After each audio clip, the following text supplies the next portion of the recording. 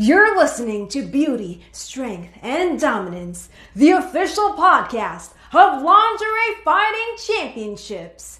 And now, here's your host, Michael Larkin.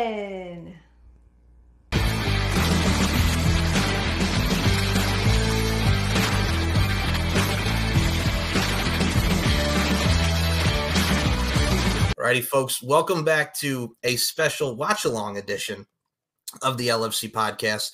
Joining me is a woman who made her debut at LFC 35 Booty Camp 3D, who two years it has been since this amazing event, the Booty Camp 3D series, which yours truly made his ring announcing debut. This one over here made her LFC debut. The one, the only Miss Lara Frazier. Laura, it's been two years, and are you ready to watch back your LFC debut? As ready as I can be.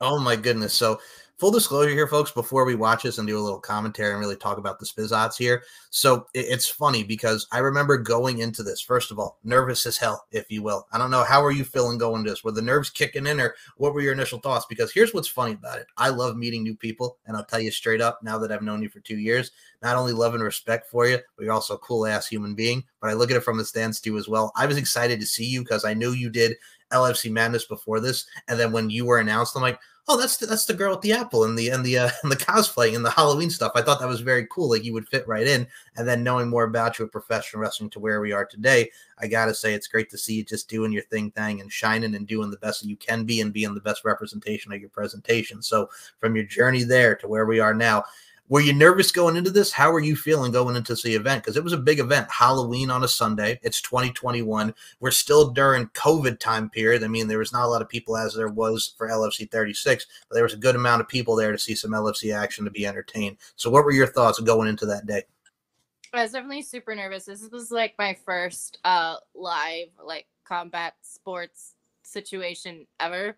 So, like I'd been training for a while because of the pandemic kind of delayed me debuting because there was nowhere to debut. so I was really nervous, but um I figured, you know, like I, I I've been doing this, I've been training for this for a while now. Okay, it's like time to time to show what I've been working towards. Well, I'm going to say this. Here's what's funny about it, too. So, going into this, and your opponent being the one, the only Veronica, the VP Pain, which shout out to her because this that one over here just had twins. And first of all, the cutest babies that you'll ever see if you follow on Instagram. Shout out to Veronica from becoming a mom. That's a foundation. That's wonderful. Family is everything. So, I got to say, going into her, this was her second bout, man. She had just debuted at LFC 31 Booty Camp the second one back in 2020 earlier that year against Jenny Bloody Valentine, which landed her a DQ win. Now, here's what I'm thinking here. Again, early 2021, there was nobody there. It was also on the FSW arena. More people here for this one. I think going against her, you being the what the overall consensus and general consensus of LFC Booty Camp is, it's a prospect against a veteran. And I got to say, as soon as I saw that match be announced on the Kizard here, I'm like, okay, you know, I'm I was curious to see what you do because again, you were a newcomer, but also at the same time, I'm like, you're in there with a vet. And Veronica, I'm going to say this for you, what you've seen of her on the Indies, what you see, she's a pro, man. Like she is a true, absolute pro, consummate professional. She's vicious. Yep, vicious. definitely a vet. Definitely a vet. Definitely been at this far longer than me.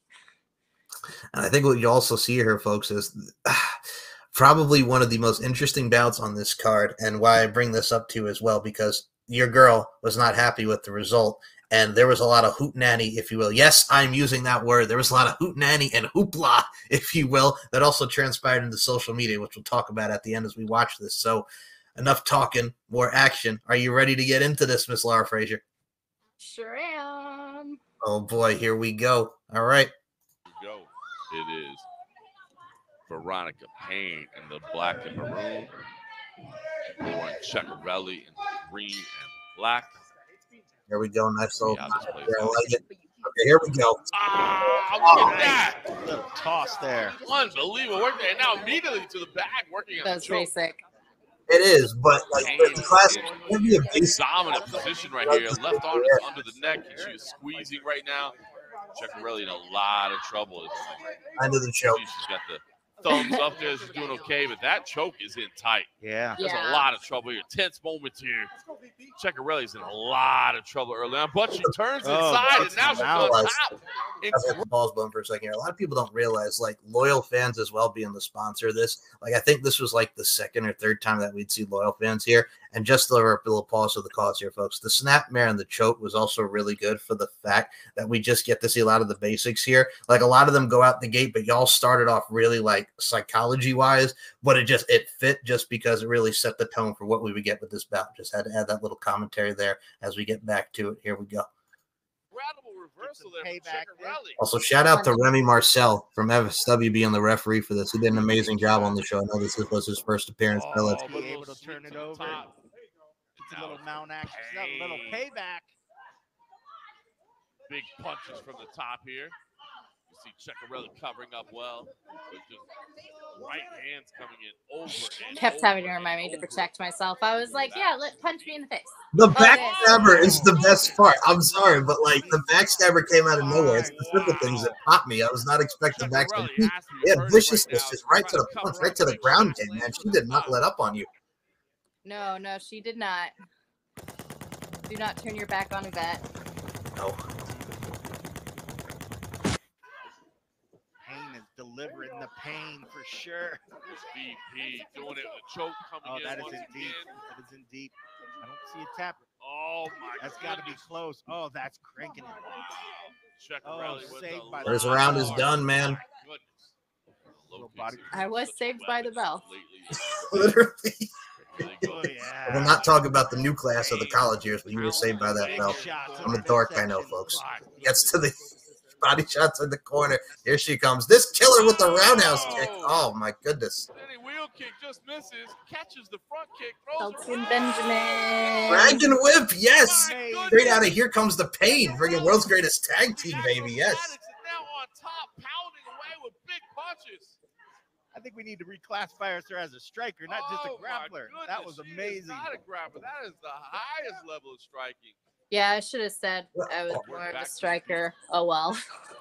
Oh, hold on. We're getting to my favorite part, and I think you know what's coming up here because you pull out the dragon whip, you pull out backstabbers. There's a kick to the knee. It's coming soon. We'll talk about it when we get to there. But this was nice, man. I saw the armbar, almost like a Fujiwara armbar style, rolling back with the overhead. I was trying. Like- She did not want to let me. Like as soon as you went to this, I'm like, okay, we're, we're we're taking a look at a Fujiwara like New Japan, All Japan in the '90s. Like I feel like I'm watching Mr. Fuji or like Mr. Saito, like in All Japan. I'm like, here we go. And for those who do not recall, that's big Japanese wrestling in the '90s, little war and romance, Jericho and Ultimo Dragon. Oh my goodness! But yeah, you come back with the strikes. All Okay, here we go. We're lifting her up. You know you dealing with it. The X Factor. Boom. All right, as we take a pause here, first of all, the littlest things pop you, folks. And I've said this many a times, but we're going to get into this. You pull out the X factor. And here's my thing like when you think of women's wrestling around the time, like I remember the Ruthless Aggression games, like the SmackDown versus Raw 06 and 07, like almost every woman had an X factor finisher because it was so simple and simplistic. But X Pac being the originator, like I love the fact that you pulled out the, the X factor. And I'm going to say this right now with the repertoire moves that you do have now from 2001 to 2023 in your revolution, man. Are we going to get more of an X factor coming at you, man? Because like I said, that was a sweet X factor. Yeah, I've been doing a three person X Factor or a two person X Factor with the Lost Treasures, depending on if it's all three of us tagging or just me and Joe or me and Matt. Um, but yeah, I've been doing those. There's a couple of clips of it. There's a pretty gnarly one I we did to Brooke Havoc. I felt so bad. We, we just planted her completely on her face. I'm surprised she's still alive. First, I'm going to say this right now. You man, you talk about Brooke Havoc up in here. First of all, y'all two had a great match, doing your damn thing on the Indies. But I got to say, first and foremost, it's like a blood feud, man. Like you take the title from you, and then you just you come back and you X Factor and everything. Like that is probably if you've not seen the feud between this one over here and Havoc, y'all were truly wreaking havoc, pun intended, up in here because that, that was that was a that was a hell of a match. That was that was like going at the jugular, man. It was like a duking up in here. Like y'all two did not like each other, but it was great for entertainment wise, right? Yeah. Oh, totally. Totally. Yeah. Yeah. The crowd loved it. They were super into it. But that's another one. Like we mentioned Brittany Brooks earlier on the LFC podcast, but it's like Brooke Havoc is another one who's on the rise. I know she did some AEW work trained by Cody Rhodes and the Nightmare Factory. Like that's another one on the rise, man. Oh yeah, she's great. She is um she just she got the you know the lucha moves and um you know she's just super easygoing, uh super fun to be around. Does her cute little cosplay stuff with Hoodslam. It's fun. That's what it's all about, folks. Fun. And here's what's fun now, because you're about to get the upper hand as we get back into the Colin test here. Ceccarelli in mount. Okay, she, you're upset now. Like you're coming back. You're tired of the strikes. You're tired of the kicks. I'm coming for you. And just boom, like okay, now she's coming back trying to strike, trying to get up like it's Jeff Hardy and the Undertaker in the ladder match, trying to fight her way out of this. And got the ground game here, like a body scissors type vibe here. Like again, you- oh yeah. like y'all focused on the friggin' like the body scissors and the takedowns here. What I loved about it, like everything. I mean, you tried to go for like what was this like another armbar, like almost like a choke. I felt like we were going like dragon sleeper territory here. Yeah. But man, Oh like, yeah, the fullest of Nelson. the fullest of Nelsons here now. Yes, like the low full Nelson. Look up Chris Yeah. Masters. No, but the fact of the matter is, from this gate, like you can't get out. I loved it. I loved it. Like really simple, simplistic. Like that stuff just makes you smile. Right to the full Nelson, yep. Body lock around her. Yeah, this is the debut of the look fullest of Nelsons, which I totally- right there. That's gotta be that super I just was Ceccarelli doing whatever, and then it became a part of my new set. I haven't done it lately. I need to do it more. for Veronica That was the end of the round. Now we're back in it, man. Oh my goodness. Oh, but it's sweet. Oh, she's Going really back to that working arm here. Hammerlock City over here. The arm right there. I locked her hammer pretty arm. hard. You see the way she has that left But arm she elbowed me pretty hard. The back, and you can see the right elbow being thrown back. Yeah. My goodness, not. What I like about it too is as well, a lot of people, I will say this for a debut, because there were a lot of great debuts this Yeah, yeah, night. I could see- Like you coming on, I got to say this first of all, you're like third on the card, and I mean you would just come off of seeing Sheena and Shay, and we had seen a lot of like great stuff here going into this. So where you were positioned, it really made for a good spot on the card. Now she's in mount. Oh, tough position to be in. Now she's back to mountain, folks. Here we go. There we go. At the moment, firing off big right hand from the top. It's been back and forth in this position, but right now Ceccarelli, the newcomer, in complete control. Yeah, she she's- decides to switch off and attack that arm once again. She Yeah. continues to attack the arm. Interesting decision there. She had complete control in mount. Now she's looking for submission. That allows Payne to turn to her knees, to stand. Did that backfire? Bouncing her off here. see. Oh, oh. Okay. kick to the chest. My apologies for pausing here. You know what that was that I liked? I'm gonna put this out here, folks. When I see that kick, I immediately back to my TNA days. That was legit Angelina Love Botox injection, is what that was, folks. For those who have not seen Angelina Love, the beautiful people, early TNA knockouts champion, that was a little Botox injection with us. That was a bicycle kick, the pump kick. This one pulling out friggin' Dragon Whip Shelton Benjamin, and then we went straight to Angelina Love. Got to put that over, man. The pump kick. It's a simple thing. It's simple things. I'm sorry. No, it's fine. I'm a kicker. But you see where I'm going with that with the Botox injection, Angelina Yes. Love. Okay. I see where you're going. My, my TNA knockout fandom aside, let's get back to the bout. The knockouts are great. It's a great thing to be a part. are. It's a great Right fandom to be part of. Did you see also that Traci Brooks got into the doggone Hall of Fame, the original knockout? Now, if there's anyone that deserves it, like it's her, right? Oh yeah, for sure. Big punches from the top. Oh my goodness! Now we talk about this. She's coming at you, man. like Hooking Payne the arm here. Up there. Will she attack Trying to pull my hair, you little Trying to cheater. pull that hair. That right away. She My said, goodness. "Oh, siree, let me get out of that one." all the way to her feet. Payne needs to get something going here late in the third and final round. It has been all oh. Ceccarelli. Big reversal there. My head did not feel good. Oh, she lifted. Oh god, yeah. This is where I thought it was Oh. over. This is where I thought she had me. Oh, Backbreaker the City. Backbreaker right there.